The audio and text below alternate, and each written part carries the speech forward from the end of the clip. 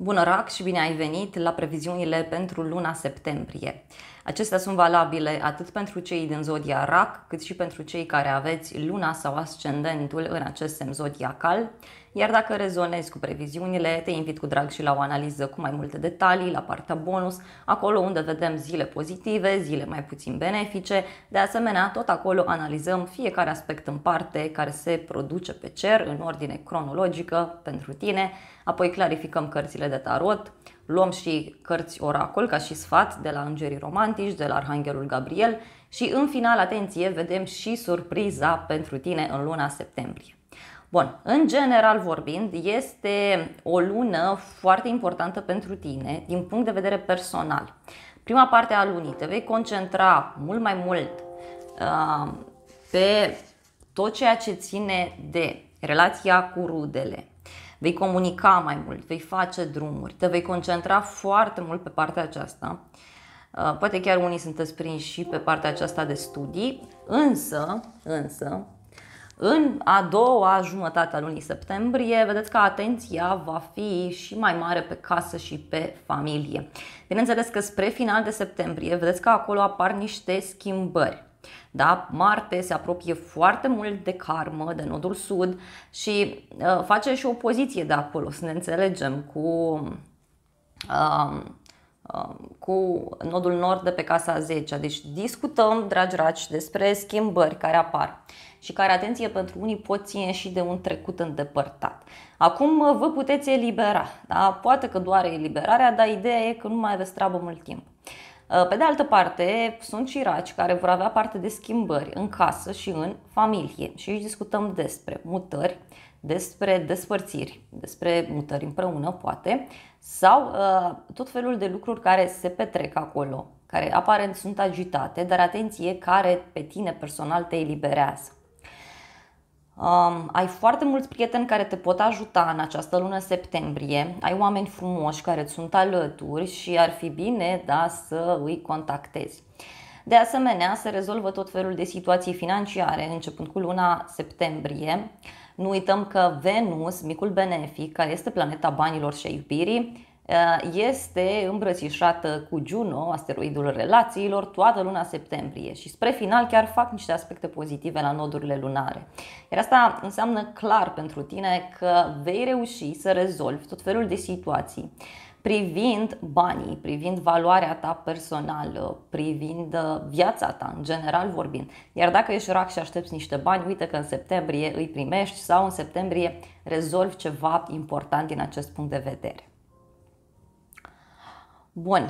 Um, avem și echinocțiul de toamnă, despre care vom discuta mai multe la partea bonus. Da? Este un echinocțiu special în acest an, din punctul meu de vedere. Uh, pe scurt, pentru tine este un echinocțiu care, din nou, accentuează ideea că se vor produce anumite închideri, anumite schimbări legate de casa ta, de familia ta, de un teren, de o moștenire, poate chiar uh, pentru unii raci, uh, posibil chiar în casă și în familie să auziți de tot felul de schimbări care se petrec, uh, cu sau fără voia voastră. Dar, repet, ele au rol eliberator și tu ești bine din povestea asta, atât financiar cât și în ochii celorlalți.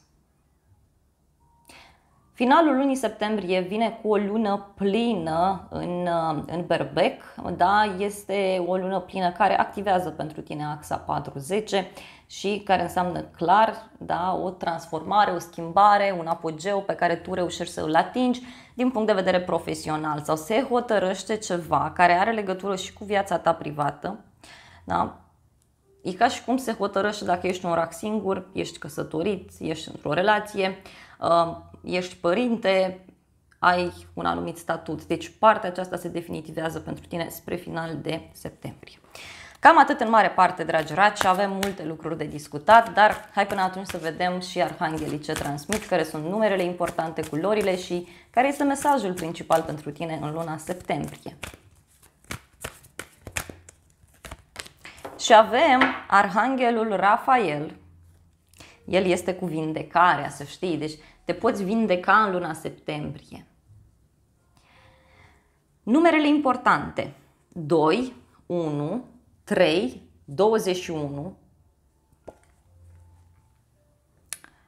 Pe 21 să știi că avem chiar un aspect foarte benefic, foarte benefic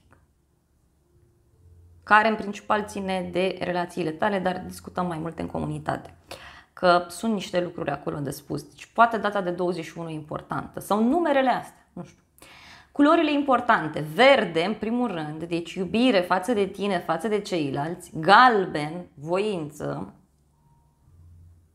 Comunicarea simt eu aici că e importantă pentru tine și e ceva legat de studiu. Da? De studiu. Uh, Arhanghelul Rafael îți transmite următorul mesaj. Ești alesul și protejatul meu. Ai atins o mare realizare în sfera armoniei tale interioare și meriți să primești darul vindecării. Ești binecuvântat, inspirat și ghidat de alaiul meu ceresc. Cu alte cuvinte, dragi raci, în luna septembrie veți reuși să atingeți o realizare foarte mare din punct de vedere emoțional.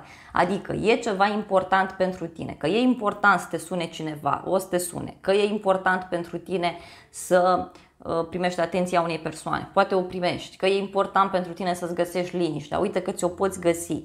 Deci este vorba despre o realizare pentru sufletul tău, pentru inimioara ta. Bineînțeles că poate să fie și ceva profesional sau personal, însă da? Nu trebuie să fie ceva luat din orgoliu sau din alte lucruri.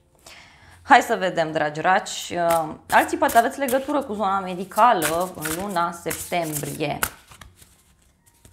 Hai să vedem tarotul, ce zice, ce trebuie tu să cunoști. Hai să vedem, dragi raci, care sunt mesajele. Hai că e o lună septembrie care este simbolică pentru toată lumea și în special pentru tine pentru acest an 2023. Da?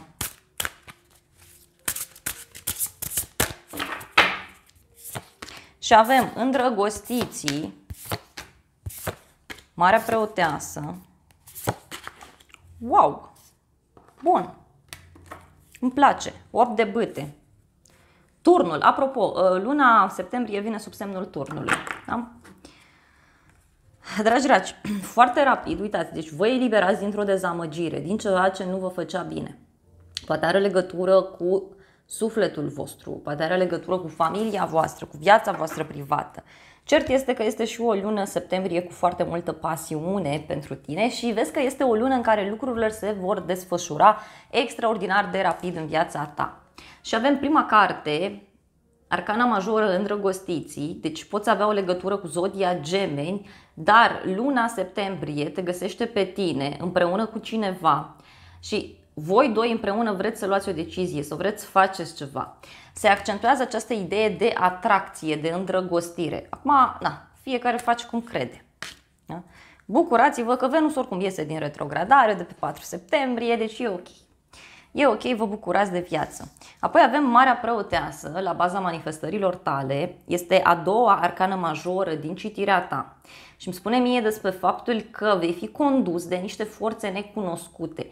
Tu vei fi ghidat. Deci cumva în interiorul tău ceva va striga tare încotro să mergi ceva din tine o să-ți spună clar, acum mergi în stânga, acum mergi în dreapta. Și este foarte important, atenție, în luna septembrie să-ți asculți acea forță interioară. Uh, unii e ca și cum considerați aici că vi se ascund niște secrete, iar alții cu siguranță sunteți ceva mai retrași în luna septembrie. Uh, stați mai mult voi cu voi.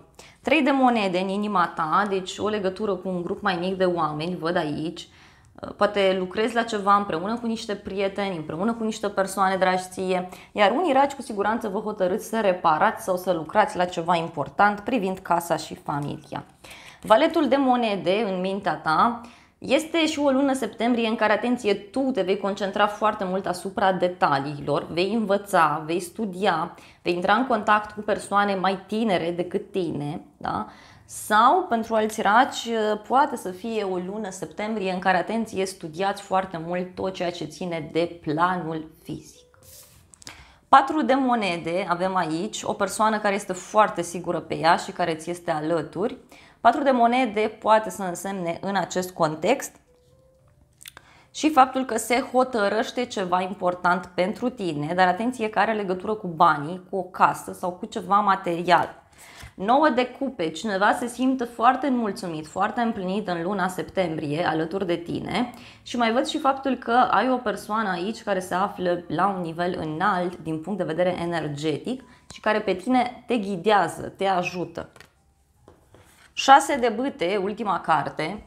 6 de bâte este clar o carte a victoriei, dar vezi că se repetă acest număr 6 aici.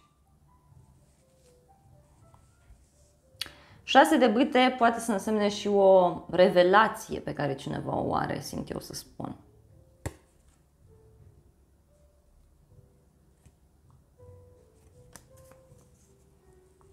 Este o bucurie. Deci dacă ai un examen, dacă ai de făcut ceva important, luna septembrie este superbă pentru tine. Da? Atât aș dori să-ți mai transmit și anume, uh, până pe 15 septembrie, Mercur este retrograd pe o casă a studiilor, pe o casă a învățării, pe o casă a scrisului, deci fii puțin atent acolo. Da? După 15 septembrie e mai ok. Acestea au fost previziunile generale, eu te îmbrățișez, îți mulțumesc pentru atenție. Dacă ai rezonat cu mesajele și dorești o analiză cu mai multe detalii, te invit cu drag și la partea bonus în comunitate, apasă butonul alătură-te și acolo ai toate informațiile necesare.